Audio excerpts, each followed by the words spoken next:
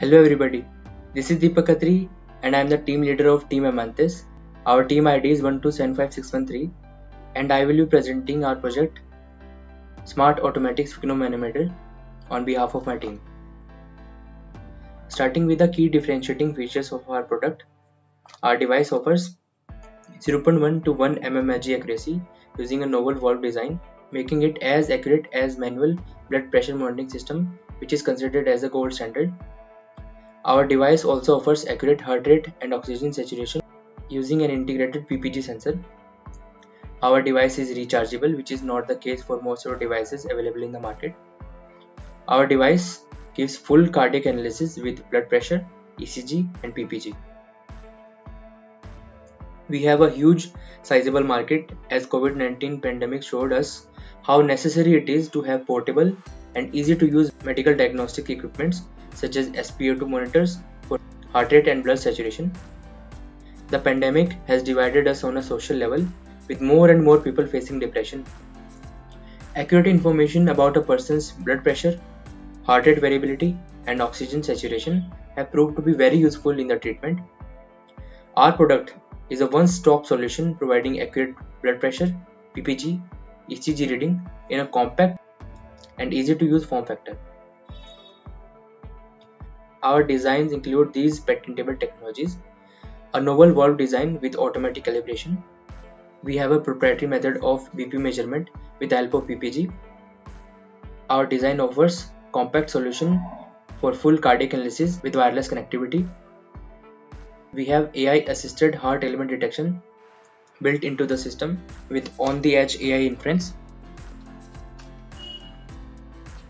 BOM cost is the most important factor for launching a product at a reasonable price. The estimated BOM cost for our design is about 16 USD or 1200 rupees. After doing market analysis, we got to know that our direct competitor will be Withings from France Fortunately or unfortunately, they are not available for the Indian market. And even if they did, chances of success is very low as the price of their devices is huge for a common household in India. After doing potential customer analysis, we got to know that 1 in 5 young adults in India has high blood pressure and there is a huge market for us to capture with our innovative design. We as a team took decision according to the situations of the current market. We started off creating just an accurate automatic blood pressure monitor, but after seeing the COVID-19 situation, we adapted our design and made it much more capable to fulfill the current requirements of people around the world. Our quick decision making and technology innovation mindset led us to design this new and advanced product. Talking about the technology innovation involved in our product, we have a wireless physiological signal acquisition system with on-the-edge AI-assisted diagnostics for the detection of heart ailments for the prevention of fatal cardiac events like congestive heart failure and other heart ailments.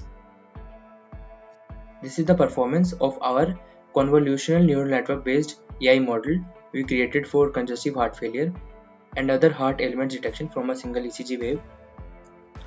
Our CNN based AI model shows a very promising result of 95% accuracy when tested with the MIT BH dataset available online, but we require a dataset generated with our device for creating a very robust inference engine. And for that, we require help from medical institutions and hospitals who can help us with the accurate data gathering. Due to the advent of COVID-19, people are buying consumer grade medical equipments to keep track of their vitals and most of them are made in China. We have a huge market all set to acquire with made in India devices. I have started acquiring customers by starting a venture called Upside Down Labs where I sell bioelectronics and biomedical devices for tinkerers and hobbyists. We have reached thousands of accounts on social media with over 1k followers on Instagram. Our device for bioamplification got featured in Hackaday and Hackster and we are growing trust at a steady pace. That's all we had to share today. We'll share more information with the next video. Thank you. Be safe.